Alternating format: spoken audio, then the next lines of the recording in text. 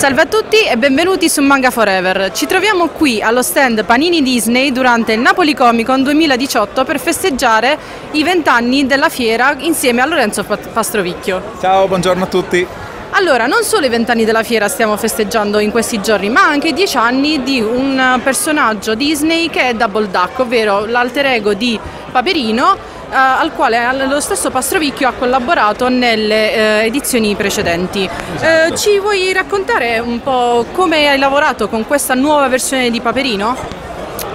Ma guarda, ehm, diciamo che eh, Double Duck ha più o meno lo stesso taglio avventuroso di PK, no? solamente appunto la, diciamo, il formato topolino tascabile obbligava a certi tipi di inquadrature, però io mi ci sono trovato subito bene, un po' perché sapevo che poi la colorazione molto bella sarebbe stata curata dallo stesso Max Monteduro che curava anche PK e in più essendo che ero un po' digiuno da PK perché c'era un po' di tempo che non, non lo facevo ho utilizzato un po' Double Duck per divertirmi un po' allo stesso modo no? tanto sempre, fa parte un po' sempre del, di un alter ego di Paperino fin dal 1997, giusto? Sei stato comunque uno degli autori eh, fissi di, eh, del, della serie PK. Recentemente insieme a Francesco Artibani avete appunto ripreso la nuova serie PK New Era con le nuove saghe tra le cui le più recenti Il marchio di Moldrock e um, L'orizzonte degli eventi.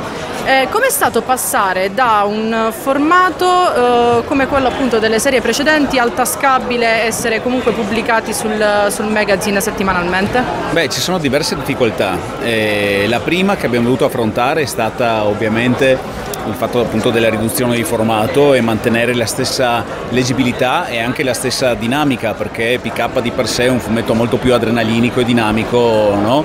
e quindi si alternavano tavole magari quotidiane, cittadine dove eh, le inquadrature, la regia, la narrazione eh, seguiva un po' quello che erano le classiche vignette di Topolino per passare poi all'azione e quindi là ci divertiva un po' di più. Diciamo che comunque la gabbia, eh, cioè la composizione delle vignette nella tavola sul PK di Topolino è comunque diversa eh, rispetto a quella degli anni 90, ma proprio perché era figlia di un altro periodo. Quella degli anni 90 un po' era un formato più grande, ma un po' ci si rifletteva nei fumetti americani di quell'epoca, no? che potevano essere Marvel come Image Comics, dove la gabbia esplodeva da tutte le parti, le vignette non avevano un senso di lettura particolare era un po' l'effetto che volevamo ricreare all'epoca. Adesso su Topolino, anche rivedendo un po' il tipo di target che, con cui ci si confronta, è ovvio che la lettura deve essere in qualche modo eh, facilitata no? e quindi si seguono i, cerco quantomeno di seguire la classica lettura a vignette conseguenziali senza andare a, a fare cose eh, un po' troppo retro come all'epoca. No?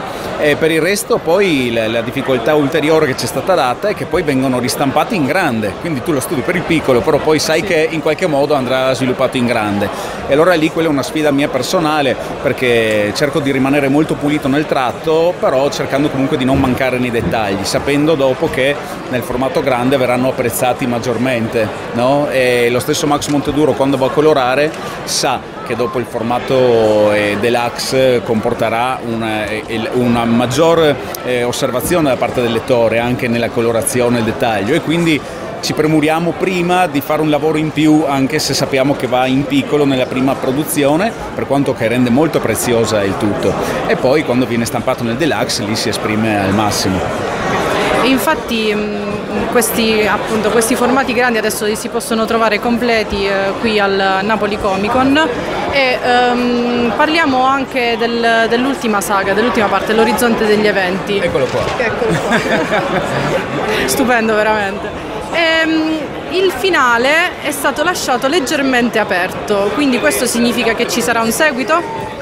Beh sì, come sempre con Francesco ci teniamo, ci siamo, abbiamo tenuto a chiudere un ciclo importante eh, che di per sé potremmo anche lasciare come punto eh, a, a, a, a, tempo indeterminato perché comunque quello che c'era da, da raccontare è stato raccontato, però e abbiamo in realtà già il progetto avviato per il prossimo anno e quindi così non è. E quindi quello che è rimasto aperto verrà, verrà, verrà, breve, sì, verrà, verrà, verrà mh, mm, aperto maggiormente, verrà mh, mm, spiegato meglio a tutti quanti. Noi abbiamo già tutto in mente, abbastanza chiaro, a grandi linee, non abbiamo ancora scritto un soggetto, però ne abbiamo parlato veramente già tanto e quindi questo sarà anche eh, causa di discussione eh, tra un paio d'ore dove avremo un incontro con tutti gli autori Disney, Panini e penso che con la direttrice Valentina De Poli si parlerà anche di, di pick up, del futuro di pick up. Pick up non finirà mai. Ma io ci, ci, spero perché mi diverto un sacco a farlo, quindi se magari dopo non sarò io sarò qualcun altro, ma essendo ancora relativamente giovane. Gi- giovane, togliamo il relativamente. In relativamente in questo caso, grazie per averlo sottolineato. ehm, una, una, domanda un po' particolare, visto che mh, mm, personalmente mi interessa molto la, mh, mm, l'analisi stilistica delle donne che fanno ehm, tutti quanti gli autori, dei vari personaggi femminili, quindi mm. volevo chiederti in questo caso come sono la tua Laila Lei e la tua che...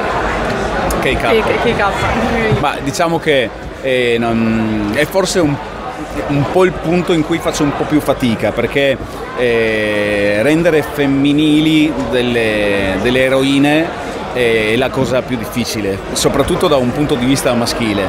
E adesso eh, con la mia nuova compagna fidanzata Giada Perissinotto ho un punto di vista molto femminile e molto critico. E quindi mi risulta difficile farle perché poi lei mi dice sempre eh, ma il vostro punto di vista maschile fa vedere le donne in un certo modo no? quindi è, è, veramente difficile. Eh, credo che per tutti noi disegnatori lo sia eh, per me in particolare forse anche perché sono più portato per certi personaggi un po' più muscolari no? quindi devo usarmi un po' violenza per ingentilire certi personaggi. Eh, parliamo anche di un, altro, di un, altro, personaggio che se non ricordo male gli hai dato, gli hai dato diciamo, la genesi tu, il nuovo macchia nera della saga di Darkblot. Eh, da dove è nato? Eh, quella è un, un'idea che avevo da, da, un po' di tempo, anche perché eh, tanti cattivi sono stati sviluppati in Disney, da Gamba di Legno a, ad altri, no? E a volte sono stati un, un po' troppo ingentiliti no? rispetto magari a quello che erano eh, negli anni 40, no? quando erano nel pieno del, del, loro fulgore, nel golden age del fumetto americano. Infatti ricordiamo eh, che già Macchia Nera è la versione cattiva di Walt Disney. Eh, esatto, esatto. Ancora no? più cattivo in questo caso. Quindi io più che altro volevo, volevo approfondirlo, mantenere la sua cattiveria intatta da, da quel proprio Macchia Nera che è e quindi avevo cominciato a studiarlo in parte graficamente proprio per richiamare un po' quello stile, che poi è la cosa che a noi disegnatori piace di più, no? ogni tanto cerchi dei riferimenti, cerchi di rinnovare nella tradizione anche, perché comunque parliamo di personaggi che hanno veramente tanti tanti anni di storia sulle spalle è, è, è giusto dare una propria impronta, però sempre girando intorno a quella che è la matrice originaria. No? E, dopodiché ho trovato l'appoggio valido di, di Casti, eh, che è un sceneggiatore ehm, diciamo polivalente si è dimostrato, oltre a creare storie umoristiche e avventurose, ha, but- ha voluto buttarsi anche in questa avventura con me e quindi abbiamo proposto una fantascienza non troppo eh, come dire, lontana da, o distante da quelli che sono i giorni nostri e quindi tutta la ricerca nostra sulle tecnologie è basata su quello che puoi trovare anche eh, nella rete, no? cose che magari un po' di anni fa, per esempio nella prima storia di Darkenblot avevamo messo i droni ed erano appena se ne parlava ancora, invece adesso con i droni ci giochi, no? Quindi siamo stati molto attenti a spostare di poco in avanti la lancetta in maniera da rendere più credibile il tutto. E Macchia Nera si è accompagnato di questo Darkenblot, questo esoscheletro minaccioso con cui lui compiva rapine e per me il divertimento era che in ogni nuova saga ne inventavo uno diverso perché comunque era, per quanto desse il nome alla serie non era lui importante l'esoscheletro, l'importante era l'avventura che viveva Macchia Nera e soprattutto Topolino, un Topolino pochino molto più umano di quello che magari eh, ci saremmo potuti aspettare in un'avventura del genere perché non è PK, non è Paperino che diventa PK, ma è Topolino che resta Topolino anche in dei frangenti super.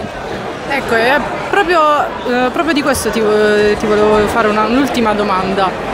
Ci sarà mai un crossover tra la saga di Dark and Blot e quella di PK?